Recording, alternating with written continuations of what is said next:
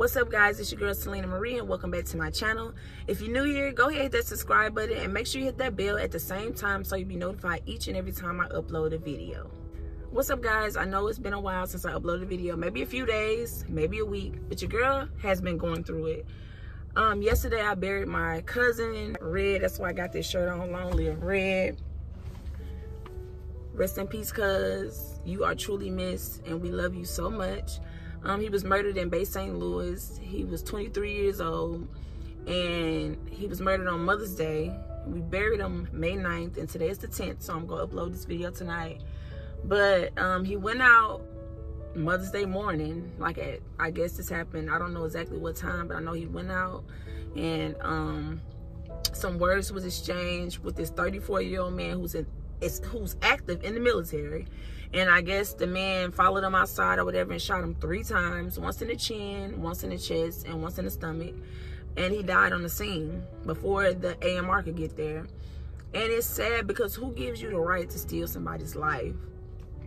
And it's that's tragic. Like, who gives you the right to steal somebody's life? So I've been dealing with that, y'all. And it's like every time I turn around, I'm losing somebody friends, family, people I know, people I went to school with. So hug your family, hug your friends. If you have a grudge against somebody, make sure you go tell them that you love them. You don't want them to walk out the door. Like nowadays, people don't fight no more. They killing, stabbing, shooting. And your loved one, the person that you're angry with can walk right out the door and never come back. And that's the sad part about the 2021 and the new year, like uh, the new generation and all this shit going on. It's like death is really walking around here heavily, heavily. Like just three days ago, um, somebody hung themselves down here that we all knew that was family too, like close like family. He wasn't family, but he was close like family. And then um, uh, two weeks ago, before that, two people was murdered I watched them grow up since they was kids. It's like it just non-stop violence. So this is his obituary right here, guys. Handsome, I know. Red was very handsome. Like everybody flocked to him, and this is the um bookmarks that his mom had made. But uh, everybody flocked to him like he was just a joy to be around. And it was never a dull moment when he was around. Like never. He loved to smile, showed them pretty white teeth and I just cannot believe somebody took his life. So hug your loved ones before it's too late. You know, we he had a beautiful going away ceremony. He looked really nice. And y'all excuse the air, but I wanted to just sit here and talk to y'all, you know, because I, I'm not going to keep going without making videos. Yesterday was too personal, so I did not want to film at all, y'all.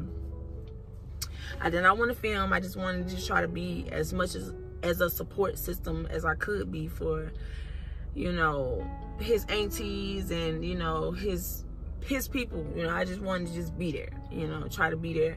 They made some pins. I had a pin made also. It said Long Live Red. They did a balloon release and um a repast, like a had food and a party and stuff afterwards. I didn't go to that because I was so exhausted mentally and physically and emotionally because I did a lot of walking that day and the sun was it was really hot yesterday. I'm saying that day like it was days ago weeks. It was yesterday. I did a lot of walking and I was very very tired. It was really hot. And so I didn't have the energy to do all of that. I just wanted to just go say my goodbyes and my farewells and pay my respects. And it was real hard watching his family break down his mom break down and I don't know if I said this, but he passed away on Mother's Day. Like, that has to be the most, like, it makes me so angry. Like, the person that did this, you did this on Mother's Day. You knew it was Mother's Day. You knew it was Mother's Day. It's just crazy. But yes, I'm not going to talk too much on that because that has a lot of emotion within it itself. So y'all just put the prayer hands down below and pray for Red family, you know, pray for us, you know, because it's hard. Because every day or every other day, it seems like every day we losing people. And it's like black people killing black people. Like, come on now, we have to do better. We have to do better. We do not have the right to take people's lives because we don't like what they say. Not at all. And in the midst of all of this, I've been just building myself up, building myself up, and trying to work on me, you know, and deal with certain situations without feeling alone, you know, because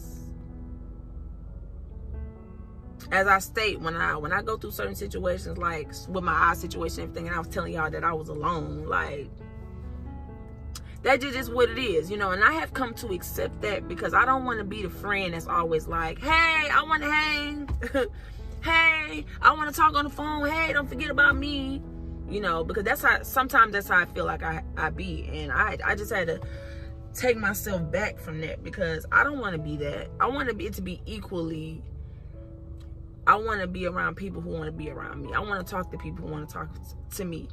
And y'all, I have been doing so good because I have not been getting angry. I have not been getting bitter or upset because certain people not there for me at all anymore because I have just accepted life and it has made me a better person because I am more happy.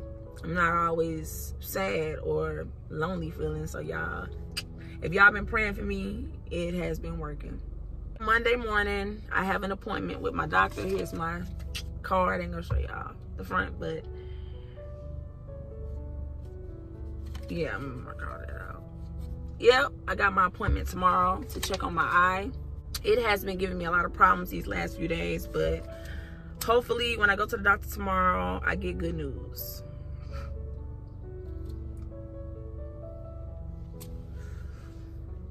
But yeah, y'all, we've been going through it. But other than that, I'm just pushing, pushing forward, like putting one foot in front of the other and pushing forward. But look at these waves, y'all. Do y'all see these waves in your girl head? They spinning. Spinning out of control. Like, make you seasick. make you seasick, baby. Yes, honey. Oh yeah, and another reason why I had took me a little break because I had to work on this this bump. If y'all want me to do a video on how I got rid of that bump, it wasn't a keloid, it was just a bump.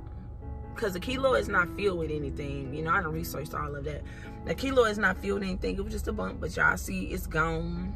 You girl. Because that was so ugly to just have a big old bump just sitting there on your nose. Mm-mm. And all I did was snag it. I didn't. I was still soaking it every day. I wasn't like going days without cleaning it. I wasn't doing nothing nasty. Some people get get it for not cleaning that shit right, but I was cleaning myself twice a day. I had the natural sea salt. Well, I still have the natural sea salt, the tea tree oil, everything. I was like putting the works down on this.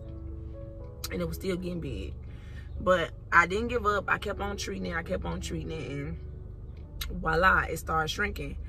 And anyways, that's a whole nother video. I'm gonna do a whole nother video. If you guys like a video, matter of fact, I'm gonna do the video period because I think it's a lot of people out here getting piercings and that I can help somebody. I can really help somebody.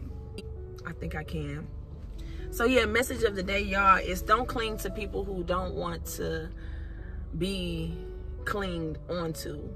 Don't push yourself on people. Don't force friendships.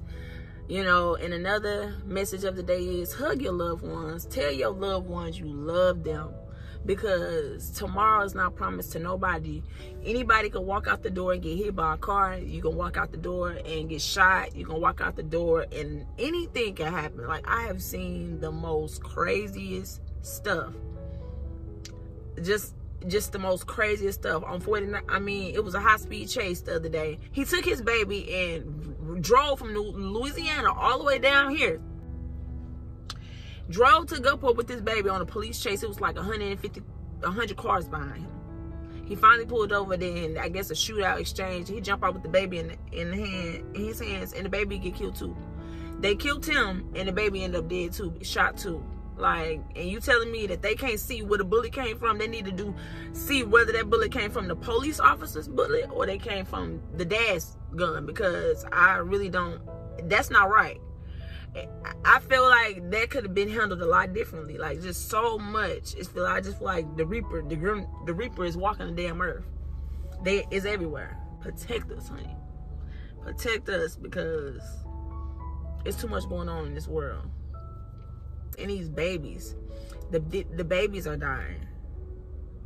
That's the sad part about it. That's the sad part about it. People don't even see y'all killing these babies. But yeah, I can drag this video on and on and on. I just wanted to update y'all on the what's really going on with your girl. If you've made it to the end of the video, make sure you give butterflies. You know, drop them blue butterflies. And yeah, love on your loved ones before it's too late, guys. If you reach the end of this video, make sure you give it a big fat thumbs up. And make sure you hit that bell at the same time so you'll be notified each and every time I upload a video. Also, make sure you follow me on all of my social medias down below. I love you, Loyalty Squad. Bye.